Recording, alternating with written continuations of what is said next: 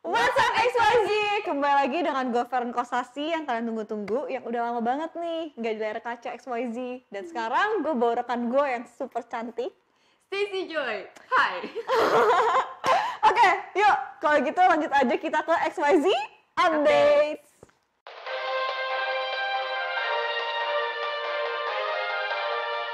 Oke. Untuk update yang pertama, kita bakal ada morning prayer nih yang akan diadakan setiap hari Sabtu jam 6 pagi di 02 lantai 3. Oh, NNN tanggal 30 Mei ini kita bakal ada ibadah kenaikan Tuhan Yesus di home lantai 4 jam 10. So, see you there. Komsel. Komsel itu di mana kita tuh bisa kumpul bareng-bareng sama teman-teman, tapi nggak cuma curhat-curhat doang, nggak cuma share masalah kita doang, tapi bener-bener kita belajar sama satu sama lain bertumbuh dalam Kristus tuh kayak gimana. Itu Komsel. Ya, Ya kita nggak? juga ya kita juga bisa berbagi masalah kita dan juga bisa kita saling mendoakan apa apabila kayak teman kita lagi kesulitan, kesusahan kita juga bisa dapat doain bareng-bareng loh. Gitu sih. Kenapa kita harus tertanam dalam komsel? Karena aslinya kalau di gereja juga kan kita kan datang, kita duduk, tapi secara jujur kita nggak banyak berbagi hidup kalau di gereja doang. Karena ya kita cuma datang, celebration, pulang. Tapi di komsel tuh kalian bener-bener belajar yang gue sih, kalau gue, gue belajar banget yang namanya mengasihi sih Hmm. bener-bener. Jadi lu ketika di dalam komsel, lu ketemu orang-orang yang lu pengen eh, istilahnya lu pengen peluk dan lu juga pengen tinju gitu tuh orang. Tapi di saat seperti itu, gimana cara kita bisa mengasihi di saat apa terpuruk sama di saat sweet sweetnya orang tersebut. Jadi belajar mengasihi sih itu yang gue belajar banget dari Komsel. Dan kalau kayak setiap ibadah minggu gitu kita cuma ngedengerin kan, tapi Hmm. kayak kurang mempraktekkan loh. Tapi di komsel ini kita gimana kita juga bisa mempraktekkan kasih gitu loh kepada mereka dengan kita setiap ada teman kita ada masalah kita bisa ngedoain dia dan kita juga bisa cerita loh kita bisa sharing kayak pengalaman berbagi pengalaman pribadi kita gimana kita gimana kita juga tahu loh kalau orang itu juga bisa dapat diberkati gitu loh di, Betul. di dalam pengalaman-pengalaman kita Oh itu gue ngalamin banget sih kalau misalkan yang kayak gitu kan. Kayak ketika gue bisa cerita gitu kan ke salah satu eh, yang ada di di komsel gue gitu kan ya orang yang bisa gue percaya gitu kan eh, kok gitu kan berulang kali ya? Oke.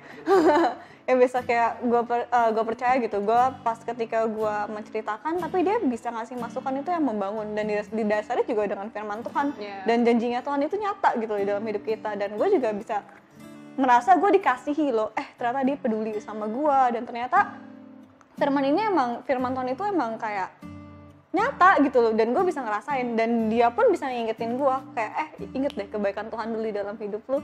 Gimana? Setiap Tuhan pasti kayak ngizinin ada masalah. Kayak sesuatu masalah itu dia pasti punya rencana besar di dalam hidup lu gitu. Dan inget deh kebaikan-kebaikan Tuhan lagi gitu. Dan itu membuat gue kayak berasa oh iya ya. Oh bener ya. Kayak pas ketika gue ada teman yang bisa meng- bantu mengingatkan dan membangun gue gue kayak baru nyadar gitu loh dan baru termotivasi lagi untuk bangkit gitu loh. Kalau gue punya Tuhan nih gitu gue punya Tuhan yang dahsyat yang luar biasa dan dia selalu berjalan bersama gue gitu. Eh, pas gue ke komsel itu gue belajar yang namanya terbuka. Sih terbuka bener-bener genuine hati gue nggak sembunyiin apa pun dan I think itu dia yang bikin gue bisa untuk belajar yang namanya eh, open up sama orang-orang yang gue juga percaya mereka juga nge-build up gue seperti apa. Berdasarkan yang kayak Feren tadi bilang firman Tuhan. And then saling praktek mengasihi satu sama lain sih. Jadi gue ngalamin yang namanya ketika gue eh, terbuka sama eh, komunitas gue gue menerima sesuatu yang gue juga nggak bisa deskripsiin seperti apa. Tapi gue mau belajar juga untuk terima itu dan nge-share juga ke orang lain. Jadi di situ ada timbal baliknya gitu. Dan sampai sekarang pun gue tetap belajar untuk yang namanya timbal balikin itu juga ke mereka ke, ke komunitas gue ke komunitas yang lain ke teman-teman yang lain juga yang mungkin belum tahu komunitas itu seperti apa itu sih wow, Wow.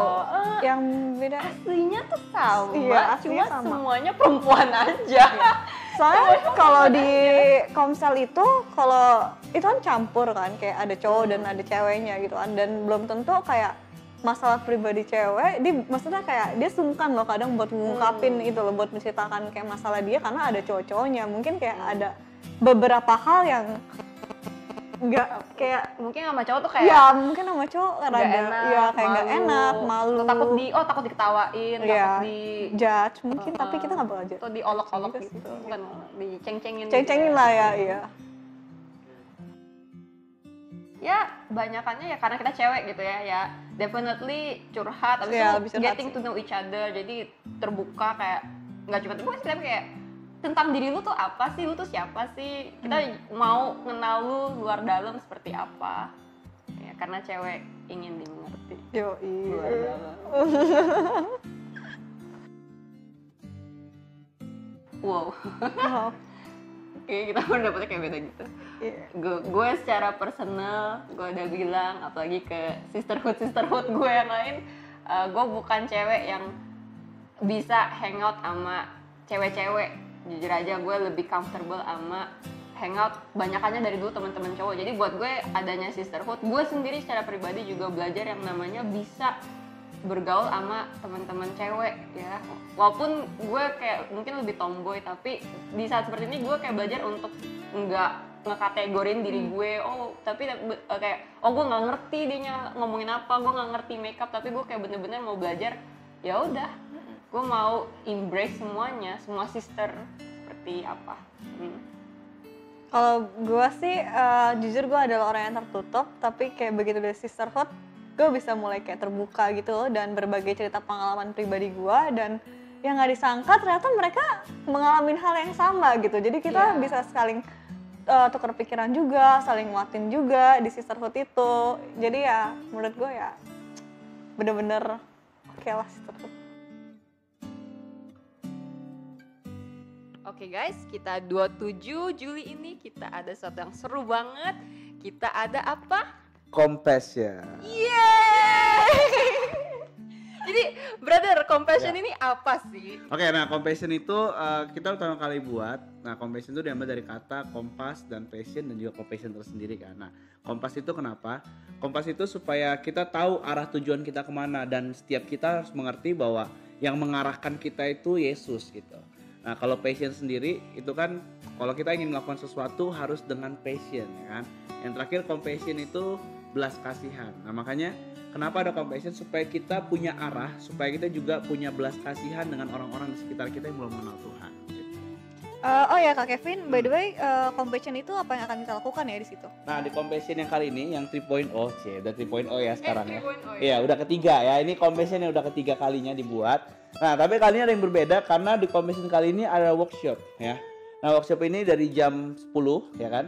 Itu ada workshop, kalian bisa pilih dua workshop di sana walaupun sebenarnya ada empat. Apa aja yang pertama ada eh, workshop tentang kampus ministry ya kan. Di situ dijelaskan bagaimana sih untuk kita bisa jadi berkat di tengah-tengah kampus. Terus ada school ministry ya itu sama jadi kayak eh, kita akan diperlengkapi bagaimana kita jadi berkat di tengah-tengah sekolah kita. Terus ada workshop tentang Christian content creator. Nah, anak-anak milenial hari ini kan ya kan kayak Feren ya kan, Stacy suka pakai Instagram, jadi influencer di Instagram. Nah, tapi gimana caranya? Kita juga pengen eh, Instagram kita bukan cuma isinya mungkin eh, promo ini, promo ini atau kita ngapain yang nggak jelas gitu kan. Tapi kita pengen jadi orang-orang yang bisa berkatin orang lain dengan Instagram kita gitu. Nah, yang terakhir ada tentang workshop Green Zone. Nah, di Green Zone ini eh, ngapain sih? Itu kita bakal diperlengkapi gini. Kita itu harus jadi terang dan garam bukan cuman di lingkungan kita. Tapi kita juga jadi terang dan garam buat orang-orang yang belum mengenal kasihnya Tuhan gitu di luar sana tentunya. Ya kita habis workshop kita akan lanjut eh, ke KKR-nya. Nah di situ kita ngapain? Yang pasti anak muda harus seru-seruan ya di sana kita bakal muji Tuhan sama-sama, bakal pray sama-sama dan tentunya kita akan dilayani oleh seorang hamba Tuhan yang luar biasa banget di sananya. Eh, pengalaman gue dua kali compassion ya, waktu lagi sorenya itu kon eh, conference-nya itu, gue ngalamin banyak hal sih di situ. Gue melihat ada hatinya Tuhan, anak-anak di sana datang ngalamin kasihnya Tuhan, bahkan ada temen-temennya ya yang ikut yang belum mengenal Tuhan dan mereka ngalamin jamahan Tuhan di sana gitu. Nah makanya gue encourage buat teman-teman semua ajak teman-teman lo sebanyak-banyaknya untuk bisa join di compassion kali ini.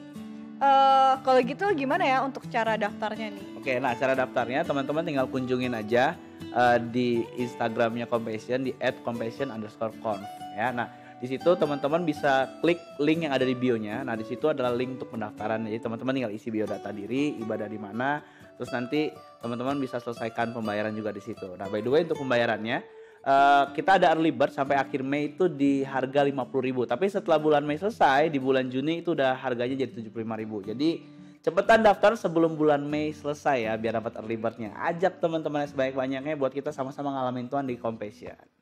Gue pribadi mau encourage teman-teman, ajak teman-teman lu sebanyak-banyaknya di kampus, di sekolah, di kantor, di mana pun itu, ajak sama-sama buat kita ngalamin sama-sama hatinya Tuhan tuh seperti apa ya. Ya. Oke, see you in Compassion 3.0. Buat teman-teman yang ingin bergabung bersama kita untuk melayani di XYZ, kita punya empat departemen. Yang pertama, Service Coordinator. Yang kedua, documentation. Tiga, Praise and Worship Team. Yang keempat, usher and hospitality team. Jadi langsung aja guys, daftar di link di bawah ini. Sekian dari update kita hari ini. Jangan lupa untuk follow our social media. Happy Sunday and God God bless bless you.